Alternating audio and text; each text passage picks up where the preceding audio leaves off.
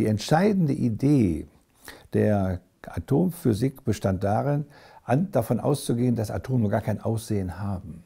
Und das finde ich sensationell.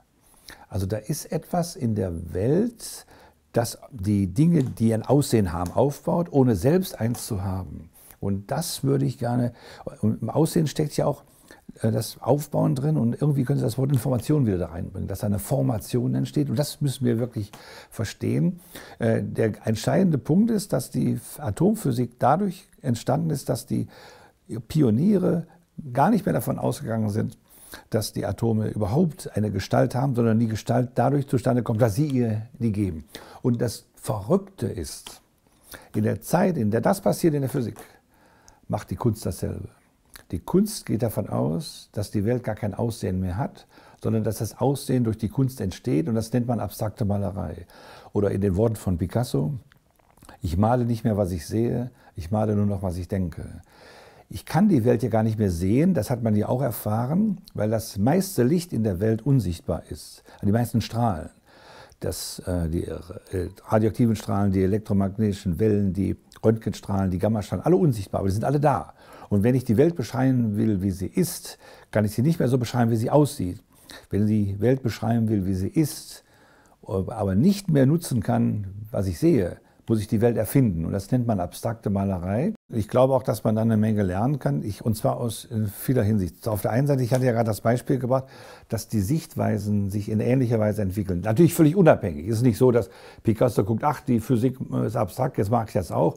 Oder die Physiker gucken, ach, Picasso malt abstrakt, jetzt mache ich das auch. Sondern das sind unabhängige Tendenzen, die plötzlich aber dasselbe Ergebnis haben. Das könnte man dann mit dem schönen Zeitgeist umschreiben, den man dann verstehen müsste. Also ich glaube, dass da eine Menge Übereinstimmung sind. Das war schon im 19. Jahrhundert der Fall, also im 20. Jahrhundert intensiver geworden. Was ich jetzt inzwischen finde, ist, dass das Gespräch zwischen Kunst und Wissenschaft an Intensität zunimmt.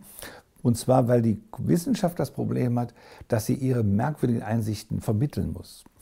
Also mein einfaches Beispiel immer, wo ich um eine Hilfe bitte bei der Kunst ist, wir wissen oder die Physiker wissen, dass äh, über die, zum Beispiel die das, was Atome oder Elektronen auszeichnet, dass die in einem, solange ich sie nicht beobachte, sind sie in einem Zustand, den man hm, Superposition äh, bezeichnet. Das bedeutet nur, dass sie nicht in einem definierten Zustand sind, sondern changieren zwischen zwei, drei Möglichkeiten. So, jetzt zeigen Sie mal, wie das aussieht. Also Sie können, das können Sie nicht malen und dann können Sie hinschreiben, dann schreiben Sie die mathematische Formel hin, also dann haben Sie, können Sie es berechnen. Aber das ist jetzt dieser schöne Unterschied, der äh, auf eine Formulierung von Werner Heisenberg zurückgeht. Wenn Sie es berechnen, haben Sie es mit dem Kopf verstanden. Aber was Sie gerne möchten, ist mit dem Herzen es zu verstehen.